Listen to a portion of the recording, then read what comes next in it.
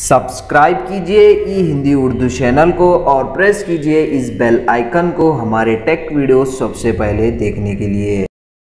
Hello दोस्तों, ई Hindi Urdu channel में आप सभी का स्वागत है। आज के इस वीडियो में मैं आपको बताने वाला हूँ कि विंडोज़ 10 पीसी में ऑन स्क्रीन कीबोर्ड में टेक्स्ट प्रिडिक्शन को कैसे इनेबल यानी कि कैसे उसको टर्न ऑन करते हैं। आज के इस वीडियो में हम यही सीखने वाले हैं। तो एक्चुअली वीडियो में किसी सब्सक्राइबर के लिए बना रहा हूँ तो चलिए दोस्तों शुरू करते हैं। बहुत सिंपल है तो सबसे पहले स्टार्ट बटन प्रेस प्रेस कीजिए और आप अपना ऑन स्क्रीन कीबोर्ड ओपन कीजिए।